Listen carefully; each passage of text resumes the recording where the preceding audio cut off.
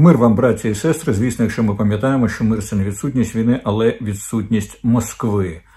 Прес-секретар Пентагону на брифінгу заявив, що в тому випадку, якщо Північна Корея приєднається до війни в Україні, то Сполучені Штати знімуть обмеження на удари своєю зброєю в глибину московицької території. Він має на увазі, що це буде в тому випадку, якщо північно-корейські солдати почнуть воювати.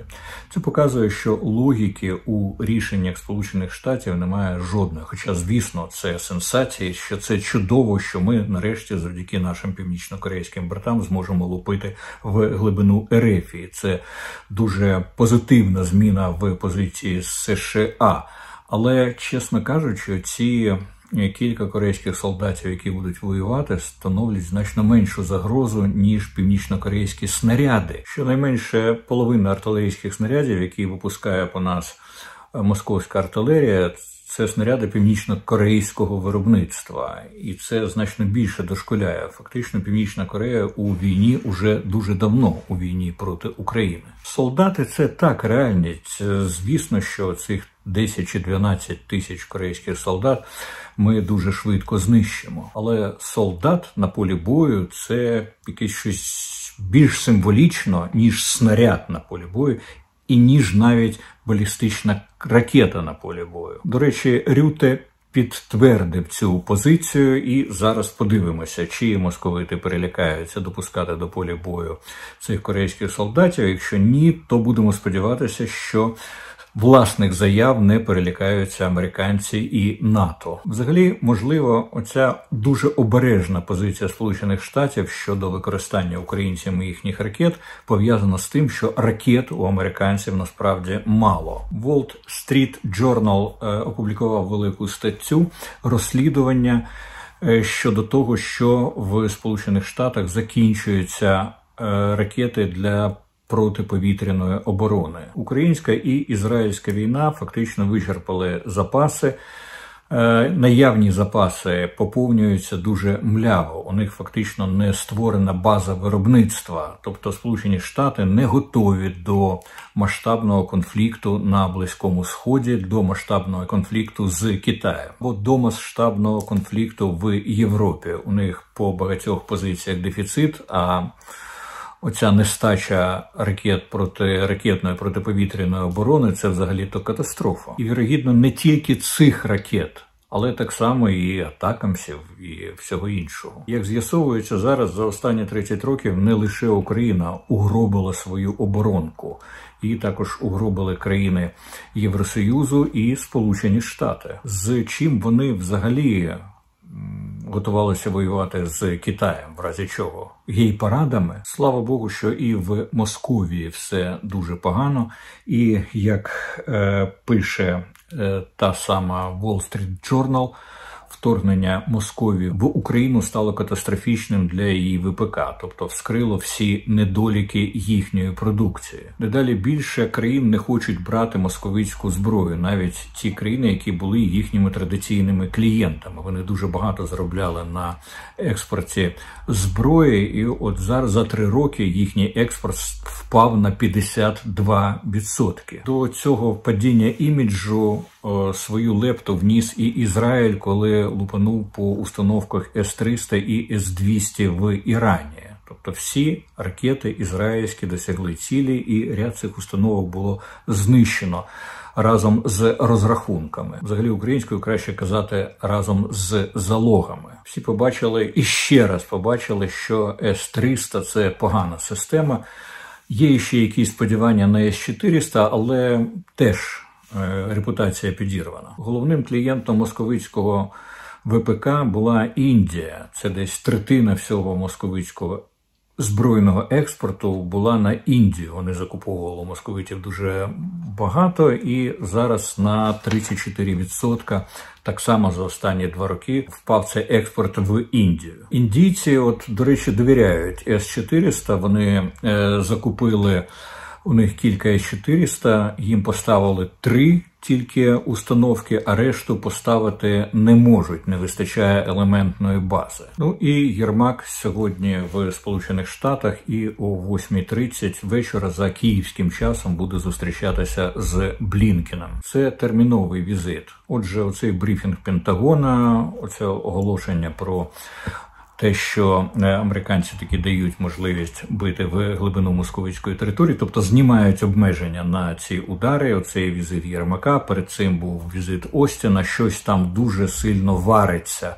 Між Україною і Сполученими Штатами, от саме на цьому етапі я маю нагадати вам, що 8 листопада в культеатрі буде йти штучний інтелект за моєю п'єсою. Це найбільш неполіткоректна, виклична, блюзнірська вистава, яка кидає виклик всім вашим уявленням про.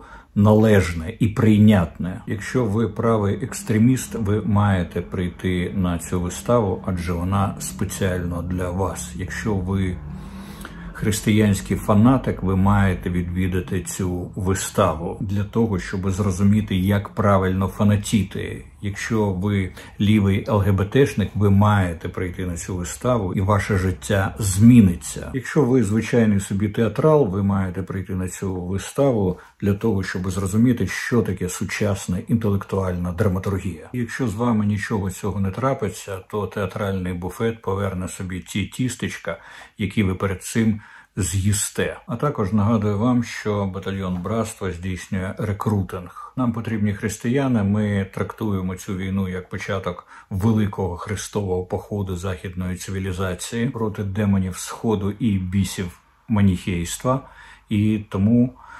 Ваше місце в наших рядах. Тим часом старший дипломат США, який курує зв'язки з Тайванем прибув до Тайваню для того, щоб роз'яснити, що відбувається. Бо зо два дні тому Трамп заявив, що коли він переможе, коли він стане президентом, то з Тайванем каже, ми будемо розбиратися. По перше, нехай Тайвань платить за оборону. Те саме він говорив раніше ще і за Південну Корею, і ясно ж за європейські країни. каже, нехай Тайвань платить за оборону. А крім того, каже він. Тайвань вкрав у нас чіповий бізнес. Тайванці в шоці. Вони ж себе завжди трактували як авіаносець Сполучених Штатів проти Китаю. А тут виявляється, Сполученим Штатам Трампа жодний авіаносець не потрібний. Вони готові швернути Тайвань Китаю. Перед цим Сі умовляв е, Байдена, щоб Байден змінив риторику, американську риторику стосовно Тайваню вважають, що ця дипломатична е, риторика дуже важлива, і е, китайці хотіли, щоб це звучало таким чином, що ми, Сполучені Штати, виступаємо проти незалежності Тайваню. Бо зараз Сполучені Штати всього лише не визнають незалежності Тайваню, тобто е, формально не визнають, але по факту зацікавлені в незалежності Тайваню. А взагалі, Сполучені Штати вляпалися у Трампа. Ну, це не тільки Сполучені Штати, взагалі. Трампізм, оцей стиль поведінки, оце хуліганство політичне, це така фішка і зараз мейнстрім в усьому світі. Україна, як завжди, була першою, але е, зараз і Сполучені Штати. Тому що, от дивіться, Трамп він абсолютно не технологічний. От він меле все, що завгодно. Це людина скандал, і на скандалі побудована вся виборча кампанія. Кожен раз, коли він виступає десь в газеті чи на мітингу, то його політтехнологи хрестяться, і кожен раз він примудряється брякнути щось таке, що не налазить на жодну голову, і це мало би абсолютно поховати його рейтинг, перекреслити його виборчу кампанію. Нічого подібного. Все тільки на користь. На нього шість кримінальних справ. Це кандидат в президенти Сполучених Штатів, головна країна планети. Шість кримінальних справ, одна справа за зґвалтування чи за спробу зґвалтування. Він у ліфті, е, поки той піднімався з першого до четвертого поверху, встиг роздягнути якусь кореспондентшу. Вона зараз подала до нього е, в суд. Сполучені Штати це країна, де переміг фемінізм. І тим не менше, навіть серед жінок багато хто готові голосувати за цього сексуального хулігана. Все це неймовірно цікаво. Про це будуть зняті сотні телесеріалів, написані тисячі книжок. Згодом це взагалі війде в світову культуру як такий феномен, як війшли свого часу Калігула, як війшов Нерон. Проте всі в світі, хто не має прямого стосунку до драматургії, от як я, наприклад, от вони ці люди Е, відчувають це як страшну загрозу. Верніше відчувають політики, відчувають як загрозу цілі країни, повернення Трампа. Боюся, що вони розчаруються. Все таки, от політика Трампа, якщо він стане президентом буде достатньо передбачуваною, більш передбачуваною ніж його передвиборча кампанія. Якось і справді, отакі от правильні мляві демократи. А весь час при демократах якась війна, якісь міжнародні ексцеси. А Трамп був президентом. При ньому все навдовиш спокійно. Він правильно говорить, що при ньому. Сполучені Штати ні з ким не воювали, окрім цієї е, війни в Афганістані, і то власне вся підготовка до виходу американців з Афганістану це Трамп. От саме в цьому я бачу найбільшу загрозу, адже нам потрібні Сполучені Штати, які рвуться в бійку, які хочуть воювати. А при Трампі вони воювати не будуть. І ще два слова про культуру. Зараз найбільш модний наркотик на Близькому Сході і в Європі це Каптаган, якось так це називається. Це синтетичний наркотик, дія якого нагадує дію кокаїну. Виробляється він в Сирії і в Лівані. Тисячі тонн постачаються до Європи. Йорданія навіть перекрила кордон з Сирією. Деякі арабські країни виводять із Сирії свої контингенти, тому що повністю наркотизуються ці самі контингенти. В Європі ринок цього наркотика десь 6 мільярдів доларів. Поки що, але мабуть, буде збільшуватися. Це нові модні тенденції. Якщо ви слідкуєте за модою, то от, будь ласка, шукайте. Порадьте своїм російським друзям, а також порадьте своїм друзям з ЛГБТ спільноти. Ну і тепер те, що мене обурило, на жаль. Розумієте, все-таки якісь тенденції до наведення порядку є, ну принаймні спроби. От є до якогось наведення ладу, там бодай в чомусь тут в Україні це треба робити, поза сумнівом. Але що таке лад? Це тоді, коли однакові правила для всіх. Це коли правила залізобетонні, коли ніхто їх не може порушити. Є такі, як мені повідомили, два брати Міладзе. Один співає ротом щось там москвомовне, а другий Костянтин Меладзе – це е, він це пише, те, що той співає. Це попса якась, така не слухайте. Вони щоправда виїхали з Ерефії, коли почалося повномасштабне вторгнення. Виявляється, оцей Костянтин Меладзе був громадянином України. Потім став ясно же громадянином Ерефії. Потім виїхав десь він там, мабуть, в Іспанії, і от зараз.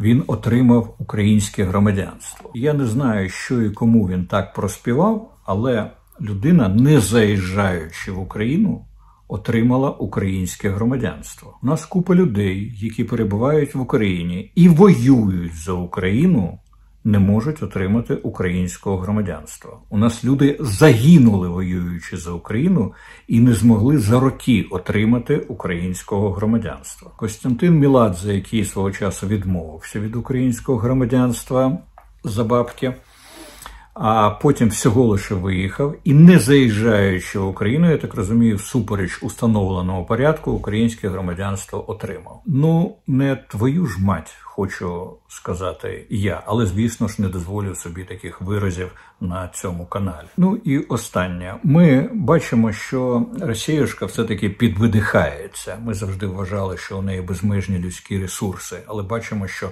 наприклад, на Курщину ресурсів не вистачає, тобто вони концентрують ресурси на наступі на Донбасі, щось там намагаються ворушитися на півдні, але вони видих, видихлися, вони не можуть одночасно це робити, наприклад, і на Курщині, і нормально робити на Харківщині. Ми бачимо, як видихається економіка. Ми говорили раніше, що вся справа, хто кого перетерпить, хто виявиться більш впертим поволячому в цій війні. Терпіння, головна якість солдата і головна якість нації. Українська нація теж втомлена і теж видохлася, але на відміну від московитів, у нас немає іншого виходу. Нам потрібно триматися.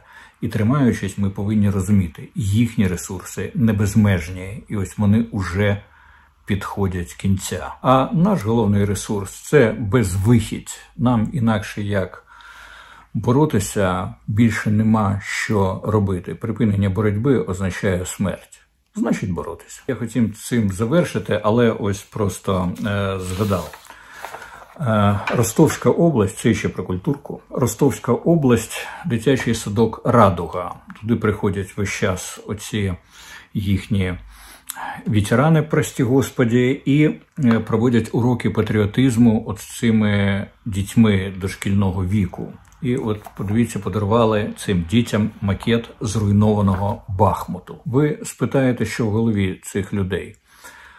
Почитайте Толстаєвського, почитайте всю їхню культурку, послухайте її. Це про те саме. Якщо ви от цього не відчуваєте, якщо зруйнованого Бахмута ви не відчуваєте в кожному прояві московицької культурки, то це означає, що у вас недостатньо гостре вухо. Їхньому Толстаєвському хотілося зруйнованого Бахмуту, їхньому Чайковського хотілося зруйнованого Бахмуту.